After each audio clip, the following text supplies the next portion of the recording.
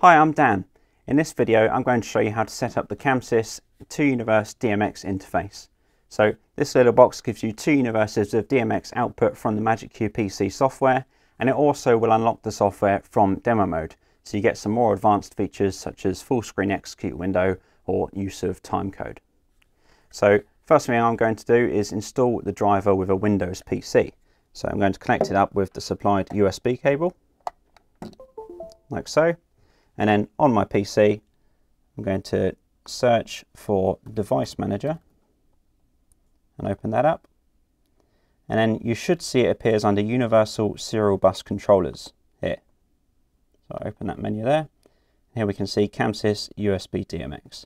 If I right click on this and go Update Driver, browse my computer for drivers, let me pick from a list of available drivers on my computer, have disk, and browse.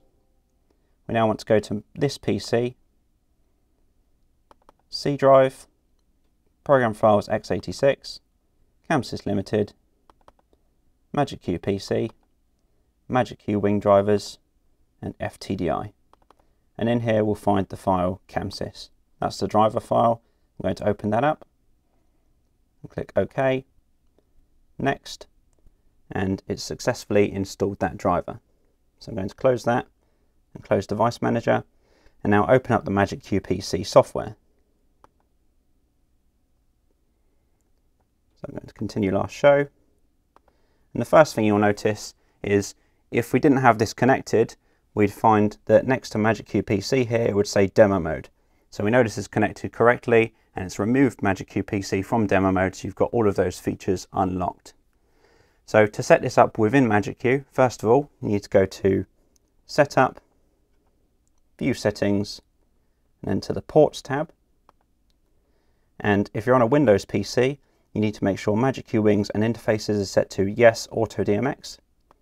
If I'm on a Mac, however, I need to set this to FTDI plus VCP Auto DMX. And there's no additional driver setup necessary on a Mac, you only need to set this option here. I'm going to leave this on Yes Auto DMX. And then we just need to configure our DMX outputs. So I'm going to go to View DMX IO. And I've set these up already. I'm using Universe 1 and 2. I've set the status to enabled. And I've set the out type to MQ dual DMX. And you can see the out uni is set to mod 1 port 1 and mod 1 port 2. So we've got port 1 coming from Universe 1 in Magic Q and Universe 2 is coming out of port 2 on our 2Universe interface. So now if I connect this up to my fixture that I've got here, like so, I've got a pre-recorded cue here. I'm just going to play that back. You can see my fixture's come on. I've set that all up correctly. This fixture's already patched. I've pre-recorded that cue just to show you that this is working like so.